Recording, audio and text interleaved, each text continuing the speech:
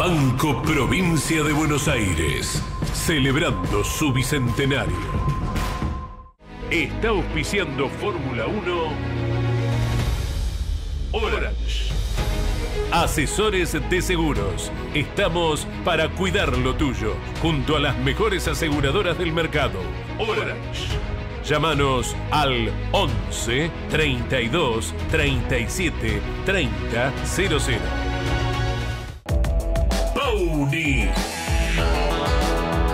La fuerza de la mayoría.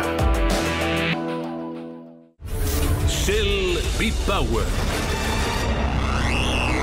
Sentite insuperable. Burt. Excelencia y calidad alemana.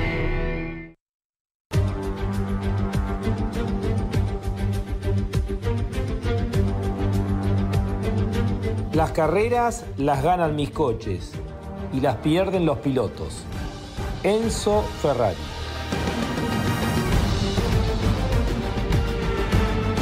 La más popular y prestigiosa disciplina del deporte motor del mundo. Llega a Campeones Radio Fórmula 1. Sueños, historias, leyendas, los ídolos de ayer y hoy, con la conducción de Lon Chileñani. Fórmula 1. Pasión sin límites.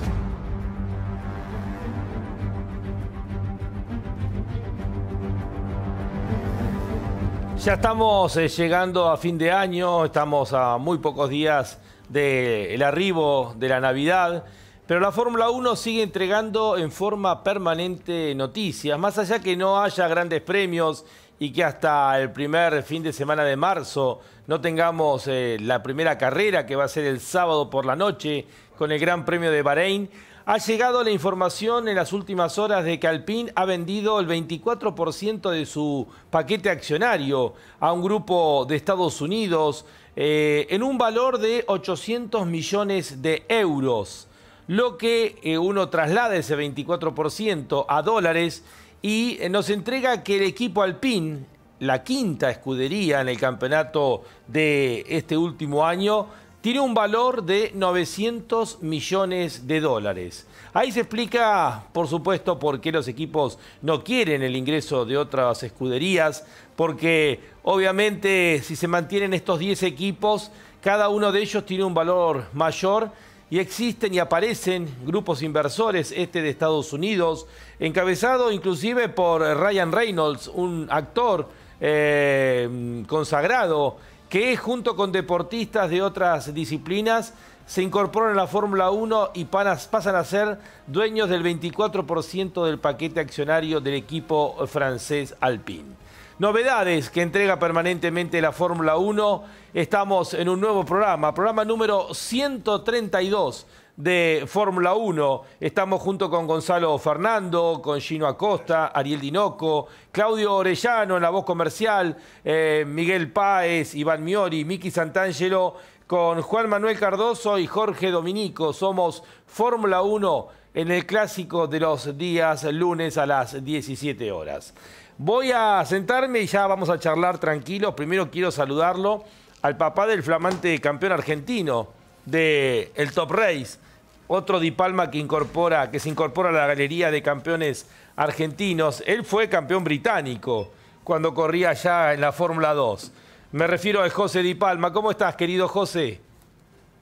Hola, Lonchi. Gracias. Eh, contento, orgulloso del logro de Josito, de todo el equipo Octanos, de la familia eh, La verdad que eh, un año muy bueno. Tuvieron eh, una dura competencia, especialmente del equipo Toyota con, con Diego Azar y, del Lincoln con Marcelo Cerrochi, dos excelentes pilotos. Y la verdad que se definió eh, de una forma que eh, no, no, no, pensaba que Josito hubiese salido a ganar la última carrera como lo hizo. Le alcanzaba con un quinto puesto. Pero bueno, hizo todo bien y la verdad que cumplió una gran tarea y salió sin especular.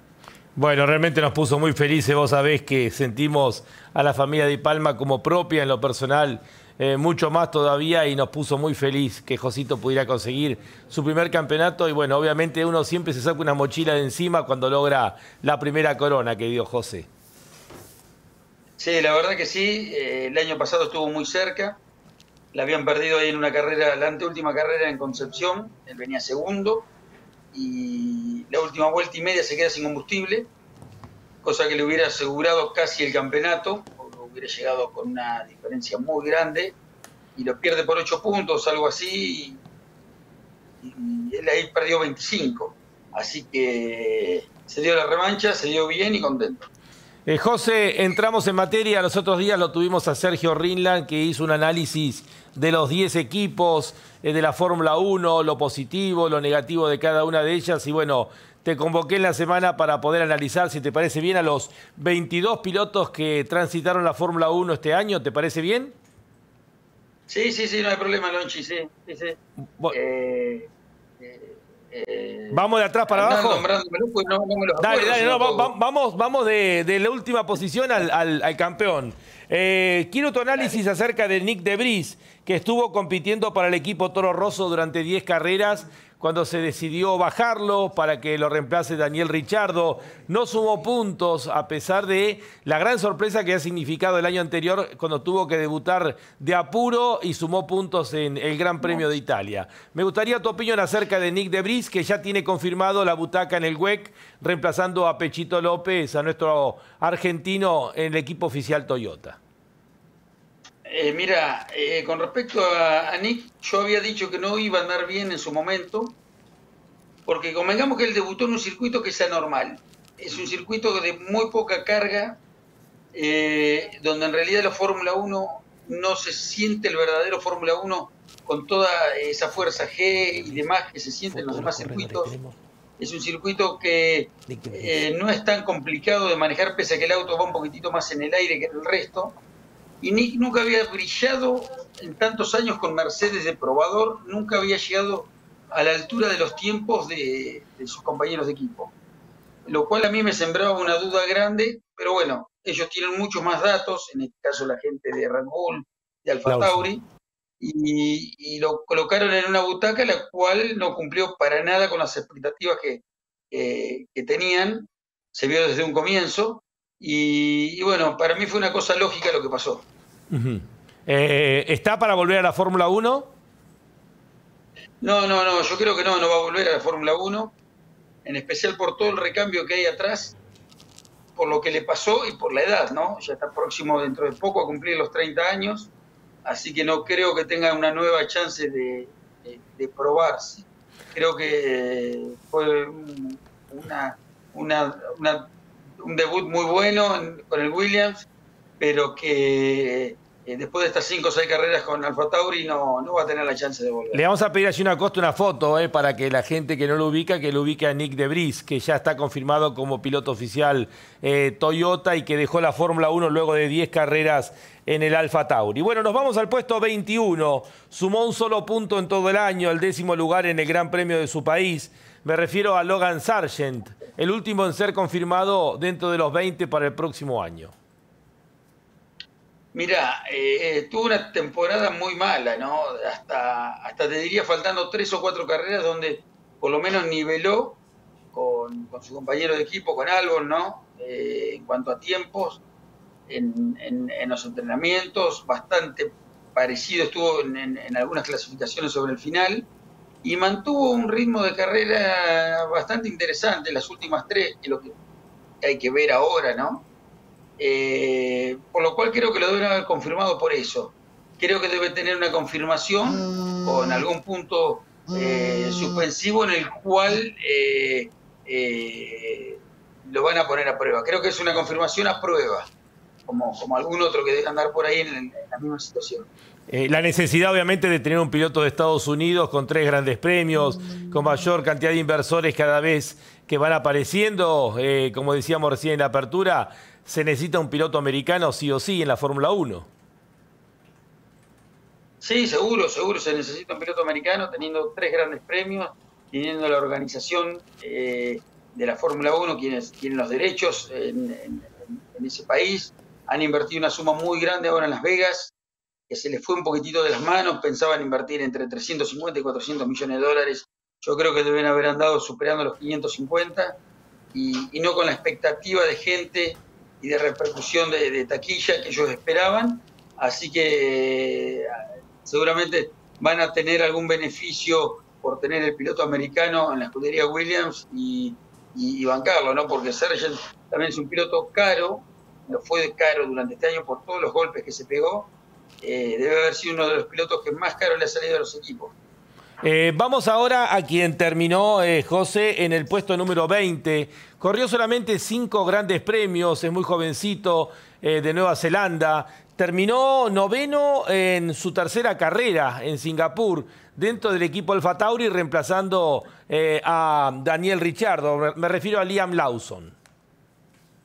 Mira, yo creo que Liam hizo de los mejores papeles que puede hacer un debutante. Eh, yo incluso lo hubiera dejado, no lo hubiera puesto a, Richardo eh, en su lugar. Eh, yo me la hubiera jugado por él porque Richardo ya está en, la curva descendente de su carrera. tuvo sus pros y sus contras para Richardo, ¿no? Richardo se, se quiebra la mano en, en Holanda, lo sustituyen. Liam Lawson entra mejor que lo que estaba andando Richardo cuando uno se pone a comparar, hizo mejor papel que lo que venía, venía haciendo Richardo hasta ese momento, y cuando vuelve Richardo, pega un salto de calidad que ya medio que no se pone en duda lo de Richardo y, sigue hasta fin de año y lo confirma. Yo creo que si Richardo mantenía lo que estaba haciendo hasta el momento que había tenido el accidente, eh, era candidato a que lo volvieran a reemplazar. Pero bueno, revalidó un poco sus pergaminos, algo pasó eh, le hizo un chip, algo, en la cabeza cambió y, mejoró mucho en las últimas carreras. Con eh, lo que hemos visto que llegó a estar cuarto, llegó a puntuar, así que bueno, se aseguró por lo menos tener la butaca e incluso que su nombre siga como ligado a un posible reemplazo si Checo Pérez eh, no renueva sus credenciales eh, a top como lo, lo, vienen apretando un poquitito todo. Eh, te hago la misma pregunta que te hice en relación a eh, Nick Debris. ¿Vuelve a la Fórmula 1 Liam Lawson? Sí, sí, él, vuelve, él vuelve. Olvídate que vuelve. Y es más, te digo, va a volver en el lugar de Richardo, creería. pese a que la Fórmula 1 tiene, puede tener muchos vaivenes, son muchas carreras.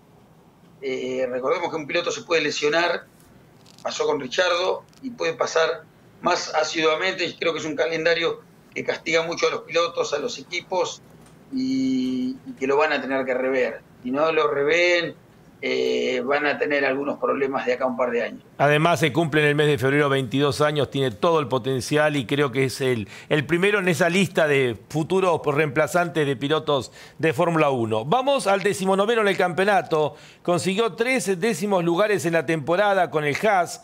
Me refiero a Kevin Magnussen, eh, el piloto danés, fue décimo en el Gran Premio de Arabia Saudita, décimo en Miami y décimo en Singapur, en Singapur curiosamente en tres circuitos callejeros o semipermanentes.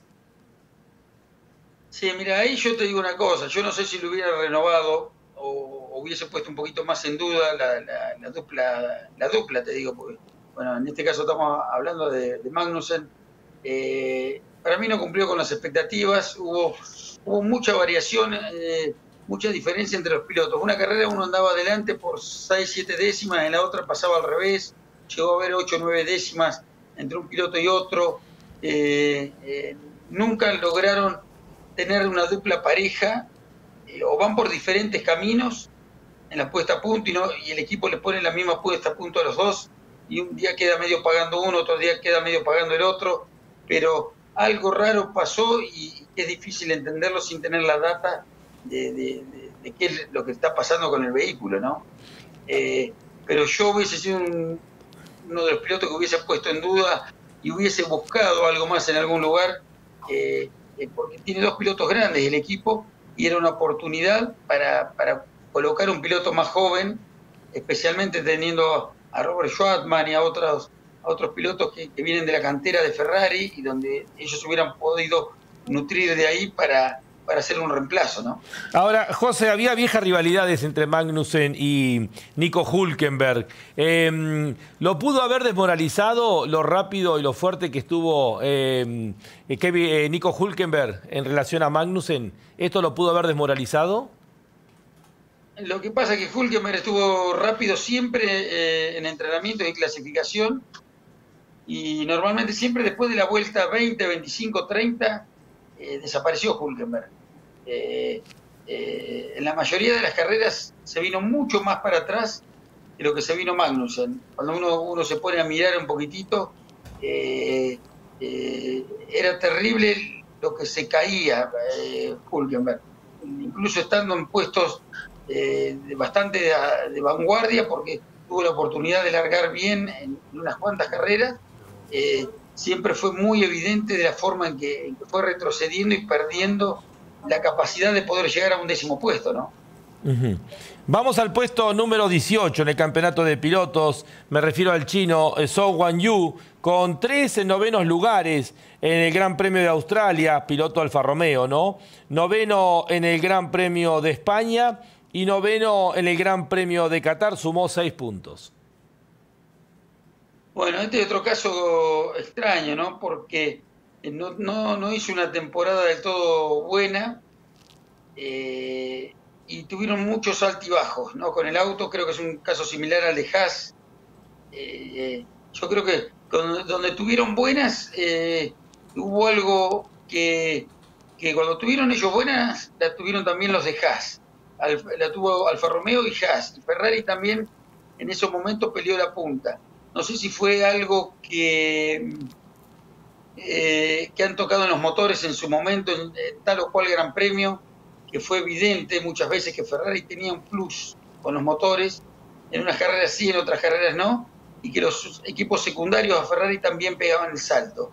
Eh, el chino yo creo que merece por ahí otra temporada, pero si no, si no pega un salto en cuanto a, a, a ser, no sé si más agresivo, tratar de, de, poner su nombre un poquitito más arriba del de su compañero se le va a complicar.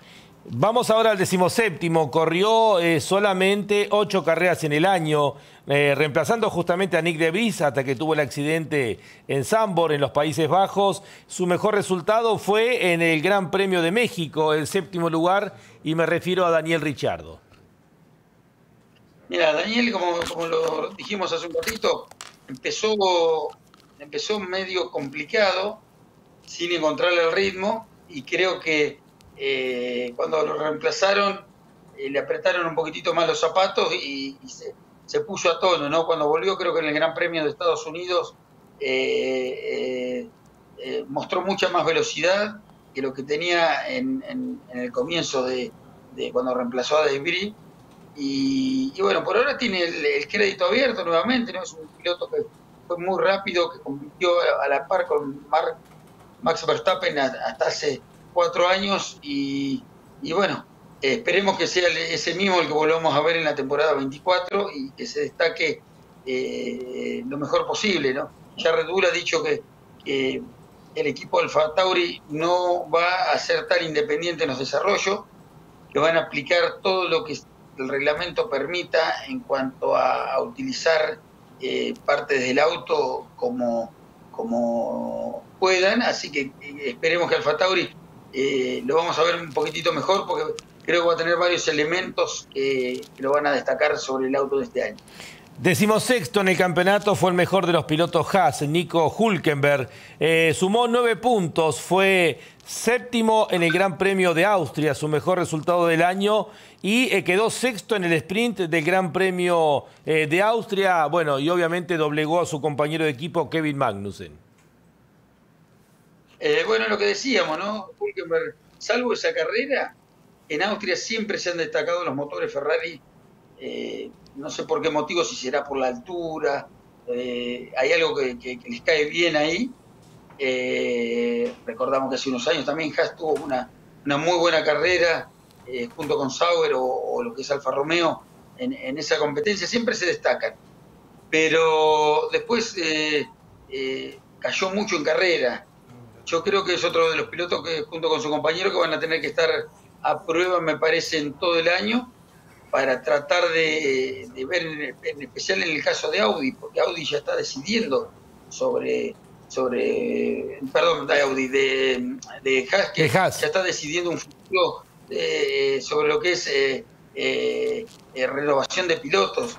ellos se han plantado con pilotos grandes, siempre es de experiencia, es obvio para un equipo chico, pero creo que es un momento que este año tendría que haber hecho un cambio y adoptar algún piloto con futuro y que le dé una renovación eh, fresca para, para lo que se va a avecinar en el nuevo reglamento y no ponerlo tan crudo más adelante, ¿no? De hecho, José, eh, la experiencia del año anterior a Haas que le permitió pegar un salto en las posiciones de campeonato de constructores, este año esta fórmula de dos pilotos con experiencia, veteranos, no le dio resultado porque terminó en el último lugar.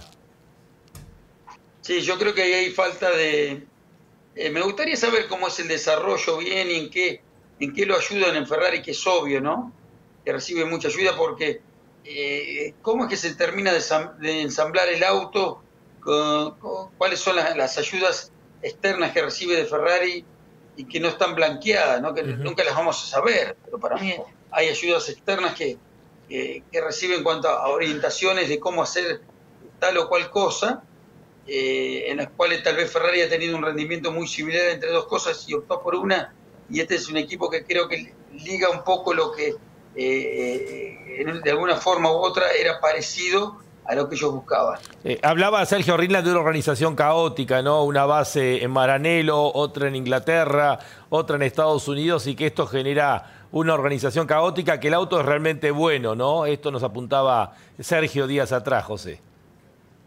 Ah, no, no lo escuché a Sergio, un gran amigo, Sergio, a quien quiero mucho, donde me, adoptó en su casa un, tiempo cuando iba a Inglaterra, paraba, así que siempre agradecido a Sergio, a Analía, a su hija Jessica, eh, le mando un abrazo. Y no, no lo escuché a Sergio, pero sí, es cierto, es cierto, es más o menos lo que yo te digo eh, de las ayudas que recibe, porque ellos no tienen una estructura consolidada eh, y mancomunada como para hacer todo de la forma que la Fórmula 1 lo exigiría. Eh, ellos tienen su cupo, lo están haciendo valer y creo que es uno de los candidatos a que si viene algún equipo grande, eh, me llama la atención que Andretti no haya comprado esta franquicia, ¿no?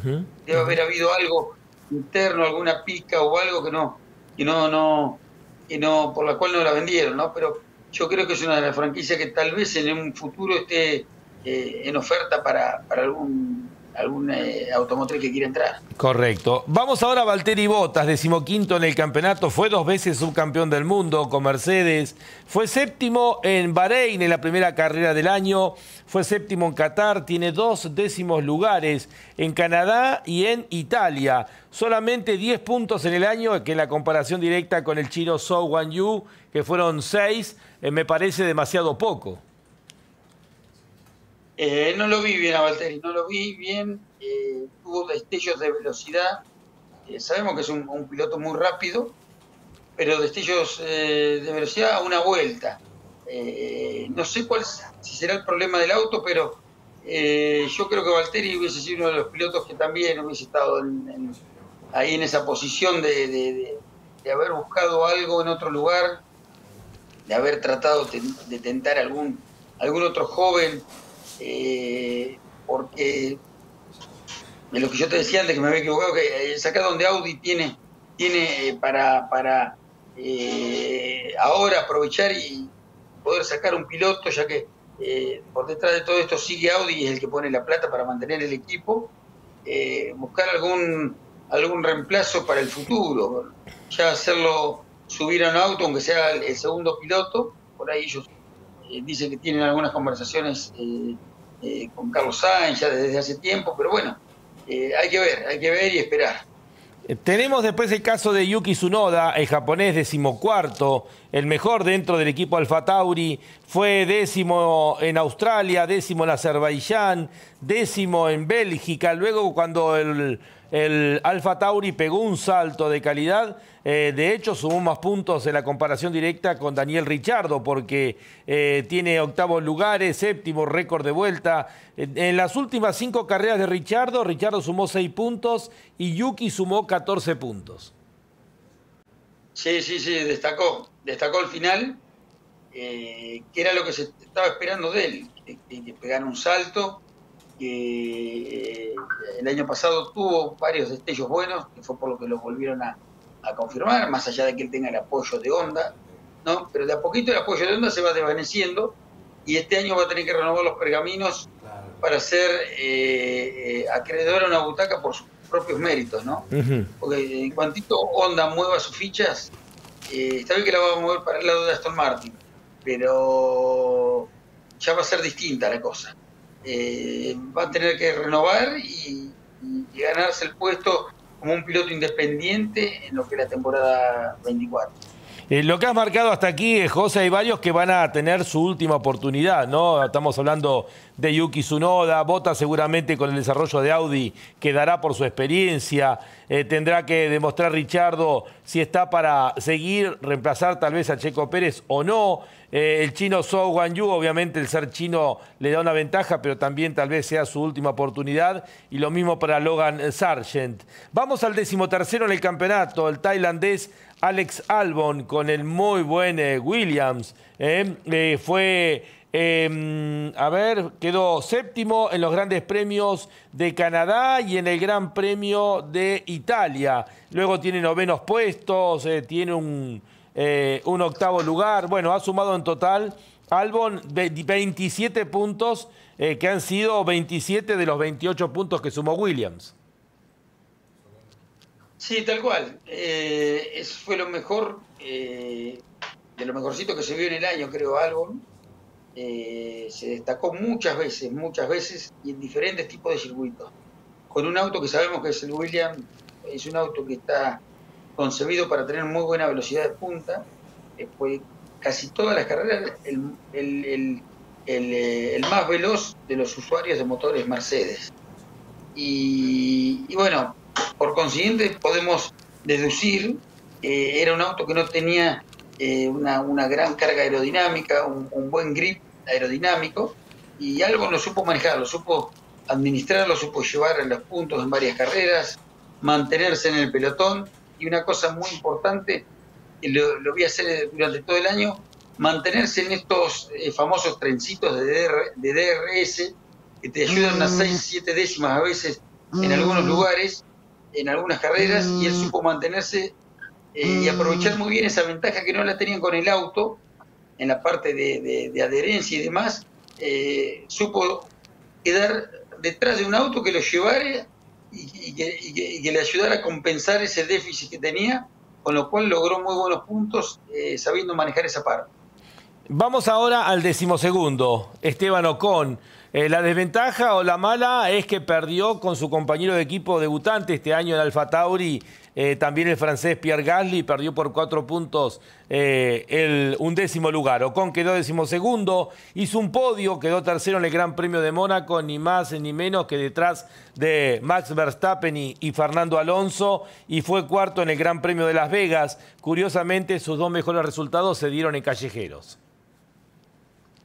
Sí, mira, acá pasa una cosa, eh, sabemos que, hay un poco de caos en el equipo alpín, eh, sabemos el, mal manejo que se ha hecho en, varias áreas, empezando creo desde la cabeza de, la, empresa en su momento, eh, siempre están con esas famosas 100 carreras que se dan de plazo, y esas carreras ya pasaron hace rato, y la cosa es que no, no logran amalgamar todo bien en, lo que es un equipo, tener a los pilotos bajo el control del equipo, porque de última los pilotos son contratados, más allá de que les guste o no alguna orden o algo, eh, creo que hubo órdenes mal dadas, alguna le han dado a Gasly últimamente para dejarlo pasar a Ocon, eh, se han manejado mal, se han manejado mal y eso repercutió para que cada uno tire para su lado. Y acá el equipo es eh, el que manda y, de donde se sacan los frutos y después van a tener sus réditos y trabajan en conjunto los pilotos. Si no pasa lo que pasó este año, que, no, no, han supido aprovechar eh, todo lo que tenían eh, para trabajar en conjunto y tratar de suplir los 20 o 30 caballos menos que tiene el motor Alpine. Entonces creo que eso requiere una organización mejor, que creo que la, van a lograr con Faín y que, la deberíamos ver el año que viene, porque veo que hay mucho más entusiasmo de lo que había antes. Vamos ahora al undécimo del campeonato. Eh, le ganó, decíamos, a su compañero de equipo, eh, Pierre Gasly. Eh, fue tercero en el Gran Premio de los Países Bajos. Terminó en el quinto lugar en el Gran Premio de los Estados Unidos. Fue más regular, pero también esto que marcabas vos, la rivalidad entre ellos, entre Gasly y Ocon, que la veíamos venir en un equipo francés, se terminó dando, pero Gasly superó a su compañero de equipo. Eh, sí, sí, es relativo, esto de los puntos relativos en este equipo especialmente, por la falta de, de, fiabilidad que han tenido los vehículos. Eh, se han roto muchos motores, han tenido muchos problemas. Creo que es, eh, que uno esté adelante o el otro atrás no, no tiene tanta importancia. Lo que tiene importancia es que Gali se adaptó bien al equipo, logró entrar en un equipo que era completamente diferente, con, otra estructura, con otro motor. Cuando hablamos de motor, es la gestión de un Fórmula 1 pasa mucho por el volante. Gasly venía muy acostumbrado a, lo que era el Red Bull, lo que era eh, Alfa Tauri, y cuando uno mira el volante de un auto y otro es completamente distinto, se va manejando todo el tiempo cosas desde el volante, ¿no? Que vos vas viendo, que te van informando desde los boxes.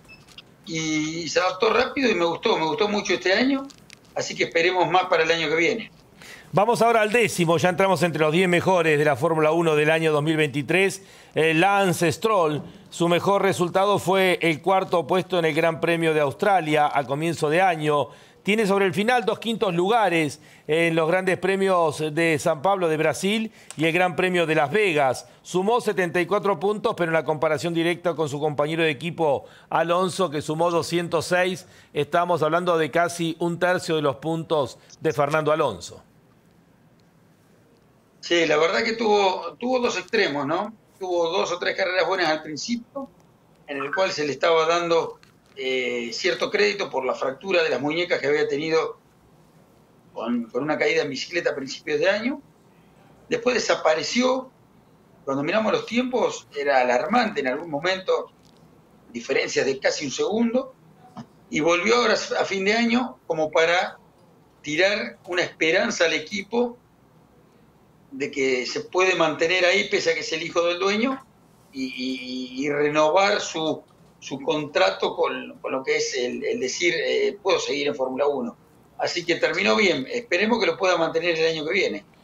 Bien, vamos ahora al noveno, el mejor debutante de la temporada, australiano, Oscar Piastri, salió segundo en el Gran Premio de Qatar, ganó el sprint ese fin de semana, pero más allá de ese resultado tenía un tercer puesto en el Gran Premio de Japón, lo que fue su primer podio en la Fórmula 1, eh, y terminó con 97 puntos el campeonato. En la comparación directa con su compañero de equipo, Lando Norris, Oscar Piastri sacó eh, un poco menos de la mitad de los puntos. Sí, pero no, fue, fue yo creo que fuera de serie, pibe. La verdad que es muy bueno. Eh, incluso llegó a opacar a principios de año a Norris en, varias carreras, varias clasificaciones, entrenamientos. Eh, llegó a estar en algún punto eh, de líder del equipo por dos o tres carreras consecutivas, hasta que Norris, con algunos cambios que se hicieron al auto, lo volvieron a favorecer para el lado de Norris. Obviamente que eh, o el manejo, la puesta a punto, algo le volvió para el lado de Norris y se emparejaron. Eh, y tuvo un final de temporada muy bueno. Lo único que le está faltando es gestionar la goma un poco mejor. Lo hemos visto que en, tres o cuatro carreras de las seis o siete últimas, a pesar de los buenos resultados obtenidos, eh, es Norris donde le hace la diferencia en, en, los steam largos cuando esas 10 o 12 vueltas últimas, él empieza a perder 6 o 7 décimas por vuelta, y ahí es donde Norris se ha aprovechado para, para, para tenerlo bajo control en lo que era la rivalidad del equipo en las últimas carreras. Ah, ah, vamos ahora al octavo, George Russell, eh, uno de los dos pilotos Mercedes, el más joven, hizo podios en el eh, Gran Premio de España, en el Gran Premio de Qatar, en el Gran Premio de los Emiratos Árabes Unidos en la última carrera del año. Perdió en la comparación directa con su compañero de equipo Hamilton. Perdón, antes de ir para Russell, te quería preguntar, em, en el caso de Oscar Piastri, cada tanto aparece un distinto. ¿Piastri es uno de los distintos que aparecen cada tanto? Eh, no sé si es uno de los distintos, es un, es un buen proyecto, no lo veo como un, como un distinto por ahora. A Norris sí lo veía como un distinto yo. Eh, Norris apareció eh, como un distinto. Piastri creo que lo que tiene todo como para hacerlo, pero me parece que está en este momento opacado o frenado o, con un respeto hacia su compañero de equipo que no lo está dejando ser lo que llamamos una futura estrella segura, lo va a ser, pero eh, él, un poco como que está sometido al, segundo puesto y creo que es una cosa que él mismo se impone, ¿no? Porque vos fíjate que ha sido muy eh, sumiso al dejarlo pasar siempre a Norris. Él viene Norris y se corre. No, no ha habido problemas de equipo, vos fíjate, McLaren por ese tema. Eh, llega Norris o llama Norris tres, cuatro, cinco vueltas antes de llegar, ya Piastri con dos o tres segundos adelante ya se corre y, es un, piloto que, busca ser el, próximo eh, Verstappen o Ayrton o Hamilton, eso no lo hubiera hecho nunca, nunca hubiese dado eh, el brazo a torcer sin eh, eh, oponer una mínima resistencia. Y eso es lo que me hace dudar un poquitito de que eh, el carácter que, tal vez le falte en eso. Vamos ahora al octavo. Decíamos George Russell, uno de los dos pilotos Mercedes, sumó 175 puntos, dos podios en el año, eh, dos terceros puestos en España y en la última carrera del año en los Emiratos Árabes Unidos. Mira, eh, es difícil de evaluar porque ¿Qué pasó acá? Russell, más allá de una rotura de motor que tuvo, que le hubiese permitido estar un poquito más cerca de, Hamilton, creo que hubo tantos cambios en, lo que era el chasis y el auto, y, han llevado autos de dos formas diferentes a algunos grandes premios, con alerones diferentes, con puestas a puntos diferentes, con, con tal de cortar caminos.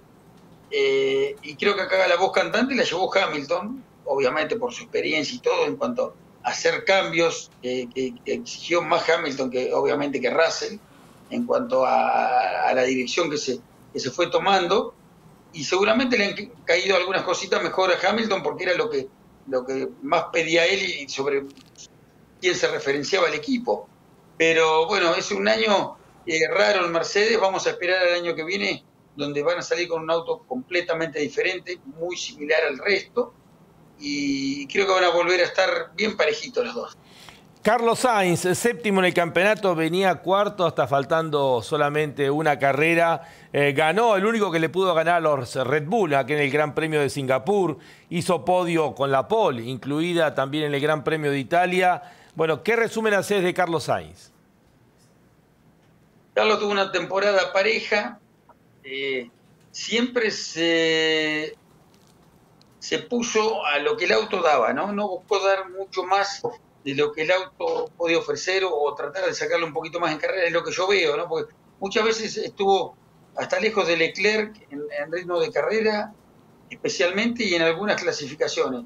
Después de mitad de temporada mejoró lo que era clasificación, mejoró un poco el rendimiento, pero como que Leclerc estuvo todo el año empujando un poco más al límite y no conformándose con llevar el auto a la meta y sumar algunos puntos como creo que hizo Carlos.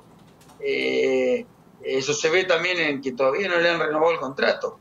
Yo creo que tienen algunas dudas en cuanto a alguna cosita, pero bueno, cuando tienen alguna duda parece como que Carlos eh, a la otra fin de semana le ha devuelto con una actuación muy buena y, bueno, eh, están en, en eso va, a tener una temporada dura si es que él no, tira todas las carreras parejo y Leclerc le saca, ¿no? Porque Leclerc tuvo muchos abandonos, eh, más allá de que Carlos tuvo complicaciones como en Las Vegas, eh, pero le veo que, va a tener que poner un, pelito más de su lado como para poder asegurarse la butaca en Ferrari. Perdió por seis puntos, saltó del cuarto al séptimo lugar en el campeonato. Vamos ahora con Lando Norris, que quedó a un punto del cuarto, que fue Fernando Alonso. Eh, solamente un punto, quedó sexto. Eh, pero en el año hizo siete podios, eh, de los cuales fueron seis fueron segundos lugares. Eh, me refiero a los grandes premios de Gran Bretaña, el Gran Premio de Hungría, Singapur, Japón. Fue tercero en Qatar, segundo en Estados Unidos y tercero y segundo en San Pablo. Es decir, el salto que pegó McLaren lo supo aprovechar realmente muy bien Lando, que en la segunda parte del año sumó, luego de Verstappen, ha sido el piloto que más puntos sumó.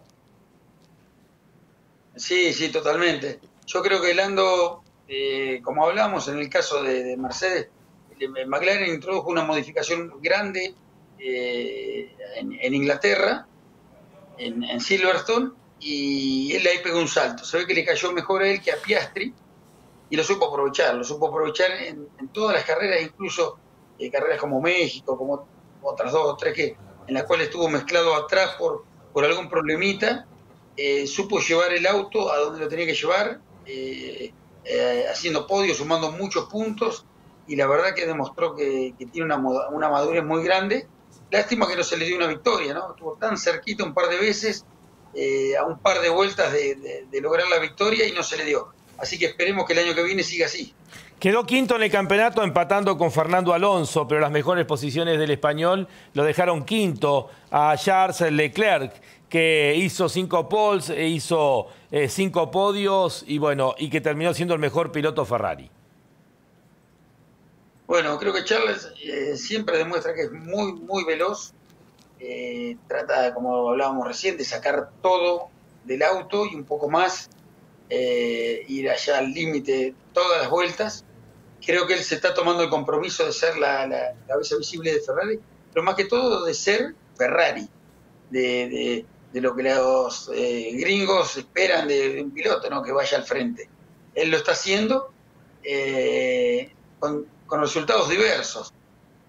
Bueno, esperemos que ahora el 24, eh, de acuerdo a las simulaciones que están haciendo con el auto nuevo, lo sienten mejor en, lo que es el simulador, en cuanto a grip y todo, pero bueno, hay que ver la realidad, cuando se coloquen las cubiertas, cuando esté pasando el aire verdadero, eh, dentro del auto con sus turbulencias y sus cosas, eh, y, estén las gomas, las cubiertas pisen en el asfalto y tengan la degradación que tienen que tener, y no sea el simulador, que lo hace bastante bien, pero no es la realidad.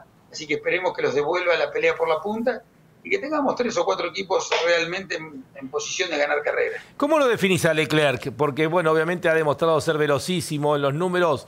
Uno ve más pole que victorias, algunos errores como aquel despiste en la vuelta previa. Eh, ¿Cómo lo definís teniendo en cuenta la presión también de ser piloto Ferrari? Eh, no, no, que como te decía, que se lo toma en serio. ¿no? El, error de la vuelta previa en Brasil al final fue por un, un tema, Ferrari dijo, fue por un tema de bloqueo de, diferencial, se quedaron sin corriente, se, se, quedaron eh, aparentemente sin, sin diferencial o sin bloqueante, alguna cosa rara les pasó, por eso fue que se pegó, pero bueno, a veces él eh, debería ser un poquitito, algo intermedio entre lo que hace Sainz, y sabe que el auto eh, de movida, estaba sabiendo que el auto iba a tener problemas, entonces lo cuidaba y sumaba puntos y no destacaba en ningún punto de la carrera.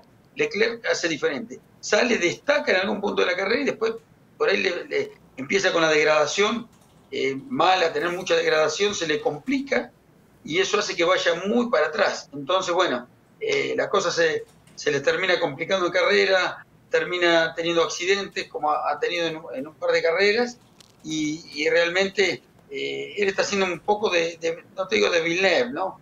Pero trata de sacar todo lo máximo en todo momento del auto y a veces no mide las consecuencias del desgaste de goma. Pero es, de lo mejorcito que hay en Fórmula 1. Y recordamos que fue el subcampeón del mundo en el 2022. Vamos ahora al cuarto. Yo creo que si en su mejor sueño no, no imaginó que iba a terminar eh, siendo cuarto en el campeonato con ocho podios, siete en las primeras ocho carreras del año. Me refiero a, a Fernando Alonso. Sí, la verdad que Fernando se pasó. Este año fue fue el superhéroe, ¿no? Especialmente porque lo consiguió al principio, se ganó ese mote y, gestionó el auto de una forma brillante. Eh, eh, después tuvieron su bajón, pero esto no le quita ningún mérito al año excepcional que hizo Alonso. Como un montón de puntos, puso a Aston Martin donde ellos no pensaban que podían estar y aprovechó cada carrera. Eh, lo que sí Aston Martin ahora va a tener que ponerse las pilas y, actualizarse, actualizarse en cuanto a rendimiento. Eh, no cuanto a, actualizaciones que las ha llevado a las actualizaciones a varias carreras, no les han funcionado, incluso hasta que creo que lo han hecho ir para atrás al equipo, eh, más que todo porque han tenido que volver a lo anterior y al colocar cosas nuevas que te restan tiempo en la práctica 1 y 2, después tenés que volver para atrás, eh, te sacó el optimizar lo viejo sobre ese circuito. Así que esperemos que Aston Martin el año que viene logre tener un, un, eh, balance que perdió un poco sobre el final del año y vuelvan a ser los protagonistas que fueron medianamente este año. Vamos con el tercero en el campeonato. Tuvo solamente seis podios en el año. Hablábamos de ocho, nueve, siete podios. Sumó en todas las carreras porque inclusive en aquella que tuvo el toque con su compañero de equipo Russell había sumado en el sprint. Es decir, que sumó en las 22 carreras del año. Me refiero a Lewis Hamilton. Y bueno, me gustaría tu análisis, José.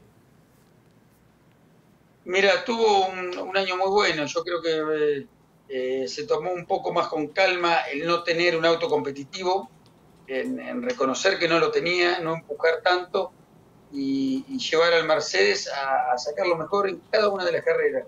Este año Hamilton me gustó mucho, no, no había pasado lo mismo el año pasado, creo que estaba un poco desahuciado con el auto, este año eh, asumió que no tenía el auto, asumió que él tenía que ser el, que generaba los cambios, por donde llevaba eh, el, rumbo del equipo en la parte técnica. Y la verdad que es un año bárbaro, más allá de, alguna cosita, pero manejó muy bien y creo que el año que viene, si le dan un buen auto, va a volver a ser el, Hamilton que. Ganó dos de las primeras cuatro carreras del año, ganó el Gran Premio de Arabia Saudita en el callejero, ganó en Azerbaiyán, parecía que le iba a pelear de igual a igual el campeonato su compañero de equipo, finalmente logró el subcampeonato del mundo. Eh, Sergio Checo Pérez. Mira, Sergio empezó bárbaro, como vos decís, como lo vimos todos. Eh, esas cinco primeras carreras. Ya en Miami ya se cayó un poco, se cayó, pero siendo, segundo, terminando segundo, eh, teniendo lo mínimo que esperaba Red Bull. creo que ellos se equivocan en, en, empezar a compararse con Max, ¿no? Teniendo esa, cuatro primeras carreras excelentes, en donde lo emparejan a Max en el campeonato, se le ponen casi a la par, y, eso le jugó en contra, porque eh, a un, a un eh, jugador como Max en lo que es la competencia, eh, sabiendo lo, lo, lo, que es y, y, debe ser uno de los más completos que ha habido en la historia de la Fórmula 1, ya lo veíamos desde antes corriendo con un motor Renault en un Red Bull, plantándole cara en muchas de las carreras de los Mercedes eh, en los años anteriores. Eh, Checo creo que tendría que haber asumido de movida el rol de segundo piloto y, de ahí eh, hacerla callado, ¿no? Decir, bueno,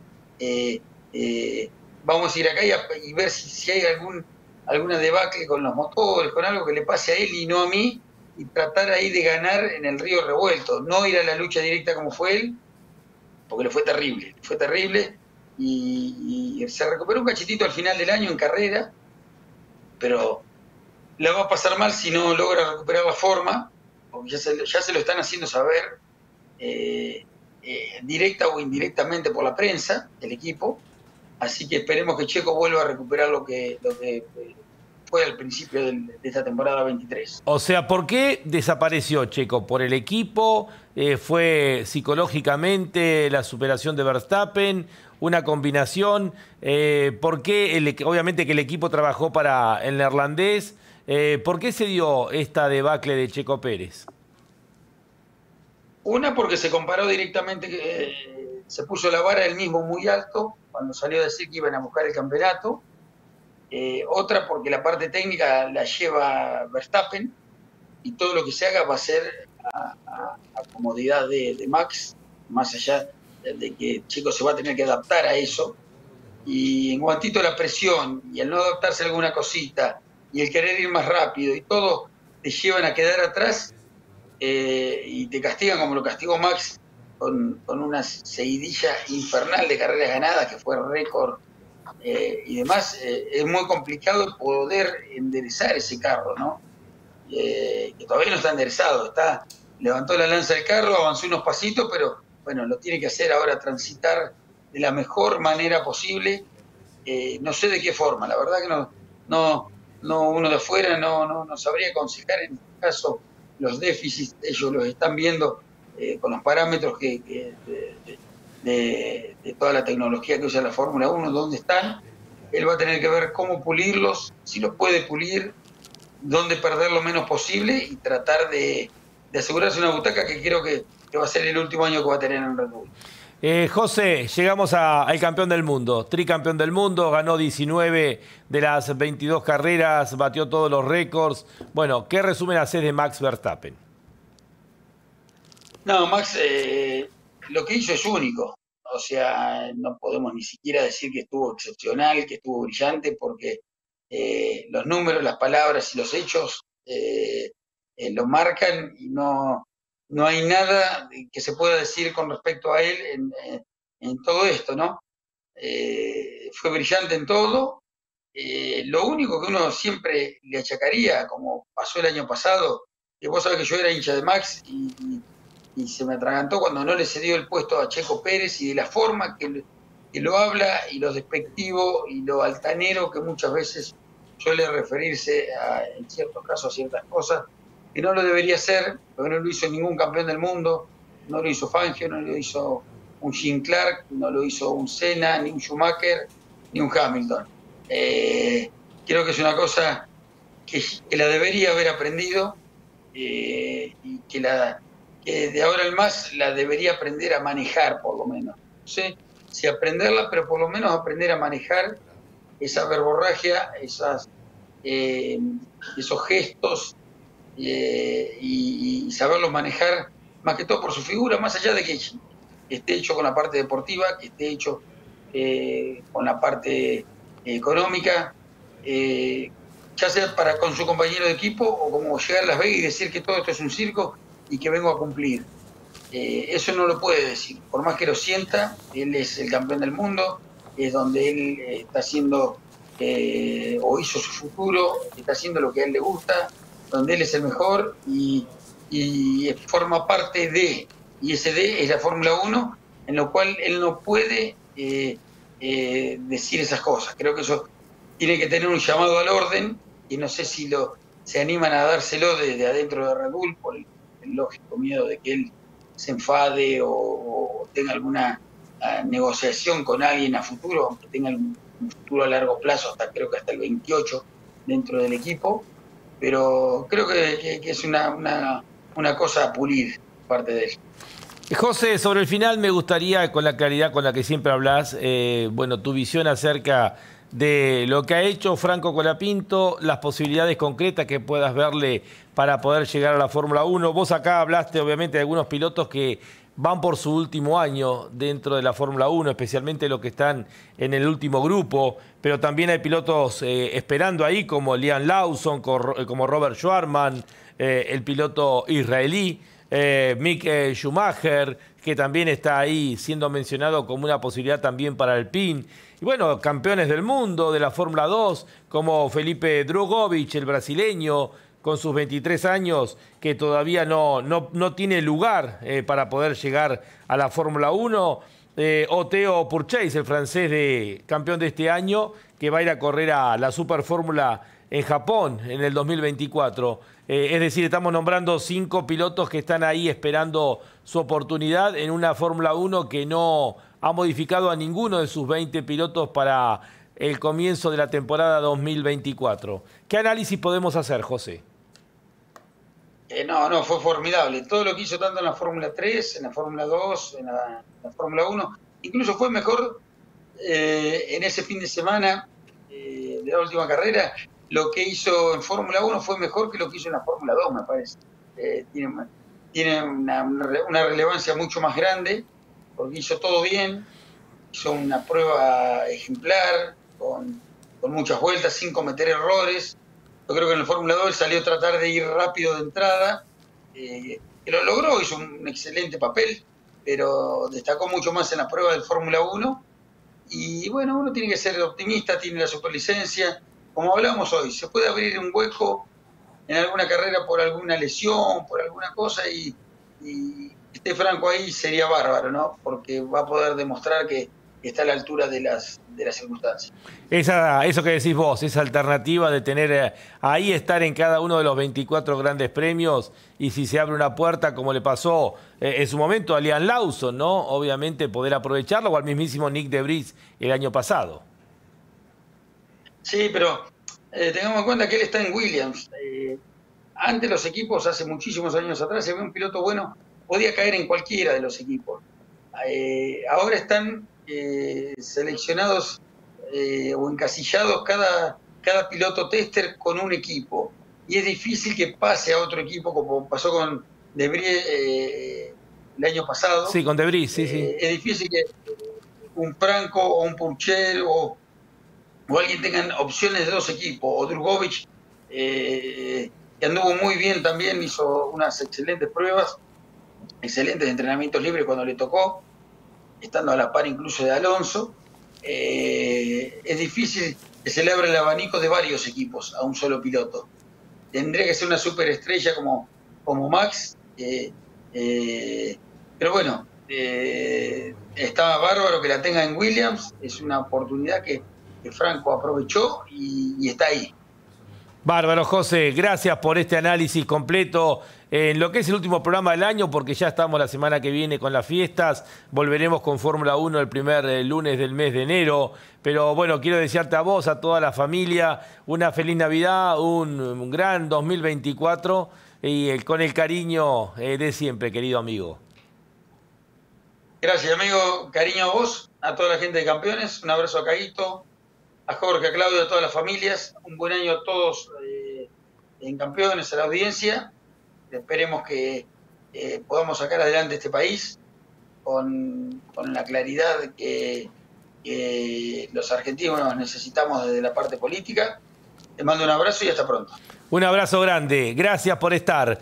José Di Palma en este último programa del año 2023 del equipo campeones a través de Fórmula 1. Les contamos la última novedad.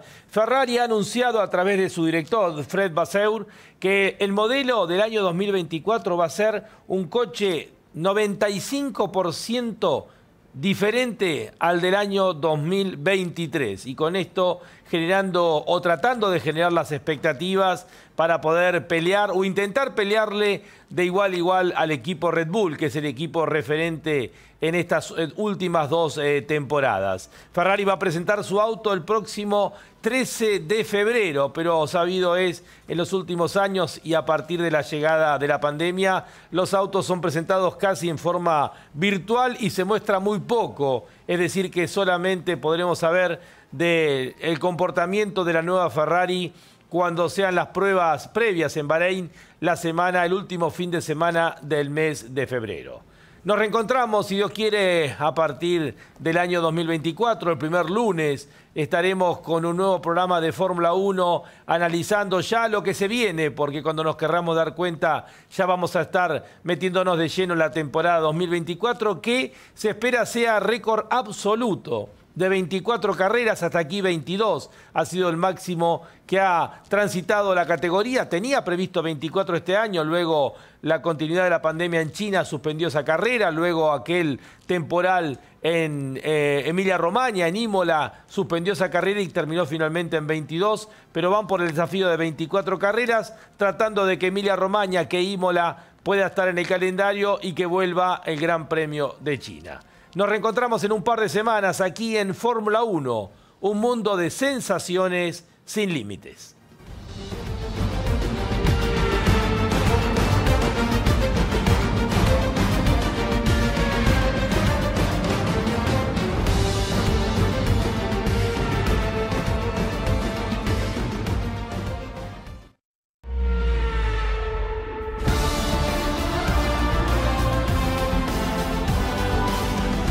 Esto fue Fórmula 1. La más popular y prestigiosa disciplina del deporte motor del mundo pasó por Campeones Radio. Fórmula 1. Sueños, historias, leyendas, los ídolos de ayer y hoy. Con la conducción de Lon Chileñani. Fórmula 1. Pasión sin límites. Hasta la próxima semana.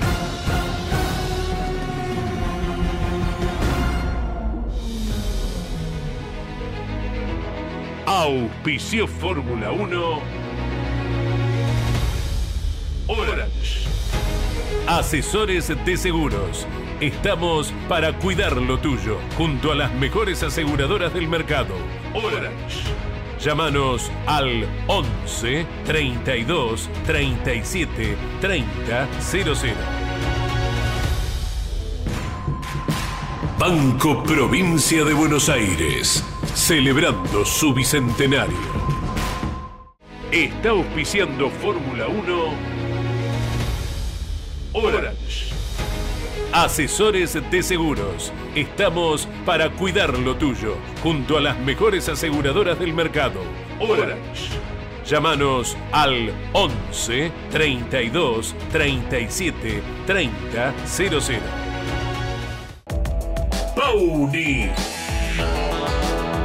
La fuerza de la mayoría.